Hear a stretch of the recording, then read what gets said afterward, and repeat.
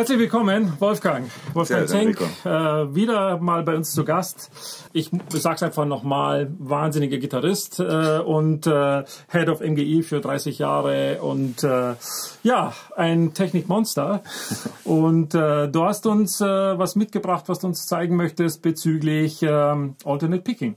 Richtig, ja. Ähm, einfach mal äh, ein paar, paar grundsätzliche Gedanken, was das Picking angeht. Okay. Ähm, es geht ja irgendwie darum, dass bei vielen äh, Schülern oder Studenten äh, der Upstroke schlechter ist als der Downstroke. Ja. Also in der Regel. Und äh, ich wollte einfach mal so ein paar Hilfestellungen machen, ein paar Gedanken dazu, wie man auch den Upstroke äh, bewusst spielen kann. Da gibt es tausend Übungen dazu. Äh, die eine finde ich besonders interessant und wollte ich mal äh, zeigen. Da muss ich erst grundsätzlich mal äh, erklären, wie ich Alternate Picking mache. Und zwar habe ich mein Plektrum, das ja in einer Ebene liegt, ja. ähm, so ein bisschen schräg zu den Seiten, sodass da ein Winkel eingeschlossen wird zwischen Plektrum und Seite. So, das, ich würde sagen 45 Grad sieht ungefähr. Das, das ist ein bisschen so weniger. Ein bisschen weniger. Okay. Ja, also okay. es ist, es ist der, der fetteste Anschlag wäre natürlich bei par parallelen Anschlag, aber um die, über die Seite besser zu kommen, mhm. macht man einen Winkel. Wenn der aber zu steil wird, dann wird der Ton schlechter, finde ja, ich. Ja. Jetzt ist es so, was ist die Konsequenz? Wenn ich jetzt, jetzt hier einen Winkel habe und mein, mein Finger wäre die äh, vergrößerte Seite, ja. dann äh, würde ich ja mit einem beim Downstroke mit dieser Seite des Plektrums ja. über die Seite streichen. Ja. Das ist über so einen Berg, der ja dann ja. drüber geht. Und beim Downstroke mit der anderen Seite des Plektrums drüber. Jawohl. So, und jetzt möchte ich ein, äh, eine Kontrolle über diesen äh, Anschlag aufbauen. Und äh, dazu gibt es jetzt folgende Übung. Die Idee ist äh, die, dass ich mir erstmal Gedanken darüber mache, äh, wie wirken die Kräfte auf das Plektrum, wenn ich äh, einen Downstroke bzw. einen Upstroke mache. Okay. Ich spiele jetzt einfach mal ohne Einschränkung der Allgemeinheit das A hier rechts und ich mache einen Downstroke äh, oder ich deute einen Downstroke an. Das heißt, was mache ich eigentlich? Ich drücke die Seite nach unten und äh, der eigentliche Druck, den ich verspüre, der ist im Daumen. Beim Upstroke okay. ist ich es. Ich probiere das gleich ja, mal. Gern. Also das heißt, ein bisschen schräg, ist das richtig so? Ja, genau. So, und dann runter. Und genau, dann, und jetzt spürst du den Druck im Daumen, bevor du äh, drüber ziehst. Merkst aber der Daumen berührt nicht die Seite, oder nein, soll er? Nein, okay. sondern über das Spektrum. Ah, verstehe, ja, das verstehe ich, okay. Ja, ich spüre den Druck, klar. Genau, und über den kann man sich mal Gedanken machen, dass er sich einfach mal bewusst macht. Okay. Und, ja. das, und dasselbe, wenn man jetzt drüber gegangen ist, äh, macht man mit Abzug und da, da verspürt man einen Druck im Zeigefinger.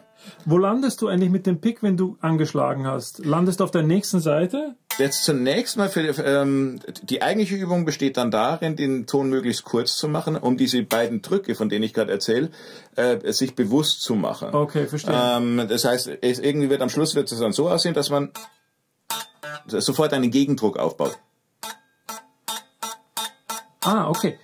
Das heißt, ich äh, gehe über die Seite, habe jetzt einen Druck im Daumen und möchte sofort den Druck im Zeigefinger haben. Das ist einfach nur eine Übung, um äh, sich das überhaupt bewusst zu machen. Ich verstehe. Das heißt, also so würde man nie spielen. Also ganz wichtig. Eben. Also so würde man nicht äh, im reellen Leben spielen, sondern das ist einfach eine Übung, um sich mal, äh, um eine Kontrolle über das Pick zu bekommen. okay, ich versuch's mal. Also runter und dann gleich wieder den Druck auf den Zeigefinger. Ganz genau.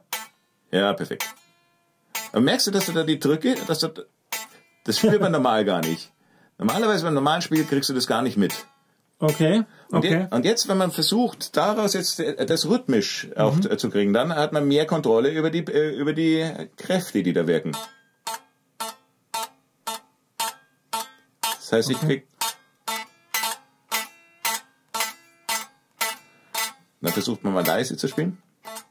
Jetzt mit den Drücken spielen. Genau. Und dann okay. mal ein anderes Tempo, Triol nehmen, mhm. irgendwie ein mhm. bisschen schneller. Okay. Je kürzer, desto gar nicht so einfach. Ja, ja. Das heißt aber, das, was, was du jetzt gezeigt hast, ist eigentlich nur, um die Sensibilität äh, zu erhöhen für die Seite. Was passiert eigentlich, wenn man eine Seite anschlägt? Aber im richtigen Spiel wäre das deutlich reduziert. Also dann würde man, drückt man nicht äh, so. Ja, aber es ist einfach eine Übung quasi, um äh, sich auch mal auf den Upstroke zu konzentrieren. Oder was passiert da mit den Kräften? Okay. Ähm, eine äh, schöne Übung habe ich noch, die super einfach ist, aber okay. äh, überraschend schwer. ähm, wenn man ähm, einfach nur A-Dur mal greift. Ja. Und dann einfach über die Seiten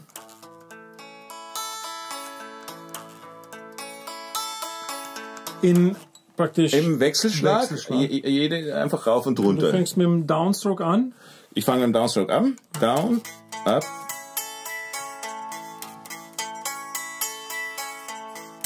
So. Sehr gut, ja? Mhm. Perfekt.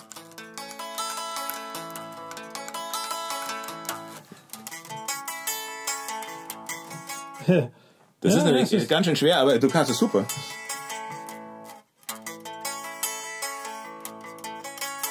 Ja, ja, da manchmal ist. Äh, ja. Ja, also. Ist überraschend schwer, ja. ja ist, ähm, interessant. Ähm, aber mhm. das wäre jetzt so eine Anwendung, wenn man das dann umsetzen will. Also gerade, mhm. das ist ja jetzt äh, Alternate Picking bei Seitenwechsel, ist das okay. ja im Wesentlichen. Okay. Wenn man sich aber diese mit der wenn man das mit der Übung, die ich vorher erklärt habe, kombiniert, zumindest ja. gedanklich, ja fällt es wesentlich schwerer. Also habe ich immer wieder Fortschritte äh, entdeckt bei ja. äh, Leuten, die das öfters geübt haben, okay. ähm, dass dann plötzlich auch solche Seitenwechselanschläge äh, schneller besser wurden. Okay, das heißt, dass der Ton auch konsistent ist. Das genau. heißt, es gibt keinen hörbaren ähm, Anschlagsunterschied zwischen den unterschiedlichen Kontrolle. Seiten. Mehr, mehr Kontrolle. Genau. Okay. Gut. Ja, prima. Ähm, diese Übungen hm, hast du bist du selber drauf gekommen? Hast du irgendwo was gesehen? Ich habe äh, über die letzten 30, 40 Jahre abgestaubt. das heißt, ich habe mir äh, ähm, interessiert Gitarristen mhm. und ihre Seminare angehört und dann weiß ich ehrlich gesagt nicht mehr, wo ich was her hatte. Okay. Äh, ich glaube, das war mal äh, Gary Howe, der was in die Richtung erzählt hat. Okay. Das war auch mal mhm. so ein, so ein eigentlich ein Metal-Gitarrist. Mhm. Ähm, mhm. Und der hat irgendwie mich so ein bisschen sensibilisiert, über diese Drücke nachzudenken. Okay. Und äh, weiß aber ehrlich gesagt nicht mehr, was jetzt auf mein Wiss gewachsen ist und was ich mir da zusammengeschaut okay. habe. Ja, man, man, man schaut sich ja was an, dann untersucht man auch mal sein Spiel, das man ja schon seit Jahren hat und sagt, oh, was, wie mache ich das eigentlich? Ja, viele Dinge tun wir ja als Gitarristen und wissen eigentlich dann nicht mehr so recht, wie wir da hingekommen sind, oder? Also Ganz mit, genau. mit der Zeit äh, verändert sich, verändern genau. sich ja auch Dinge. Ja. Da habe ich halt jetzt schon relativ viel Erfahrung, dass ich halt immer wieder auch äh, Studenten beobachten konnte, was funktioniert. Und äh, also das ist eigentlich eine gesunde Übung. Es gibt äh, so eine Kategorie von, äh, das, das ist ja nicht besonders spaßig, sowas zu üben, muss man gestehen. Hm, ja, also es gibt, es gibt noch schönere. da gibt es irgendwie so eine Kategorie von äh, unspaßigen Übungen, die mhm. aber äh, tierisch gesund ein, sind. Ja, ein Weiterbringen einfach. Äh, ja, man muss ja nicht dauernd machen, aber mhm. sich einfach mal das bewusst gemacht zu haben und dann mal irgendwie darauf zurückzugreifen, mhm. ähm, da ist einfach äh, das Motto Wissen, mehr Wissen ist halt da ja. besser. Prima. Du, vielen Dank äh, für die Tipps und ich würde sagen, wie immer, äh, Kritik und Anregungen, Kommentare schreiben. Vielen Dank fürs Kommen. Sehr gerne. Und wir werden mal äh, hoffentlich uns bald wiedersehen mit einem neuen Thema. Und bis zum nächsten Mal. Bis zum nächsten Mal. Tschüss. Okay. Ja, das ist überraschend, gell? Ja.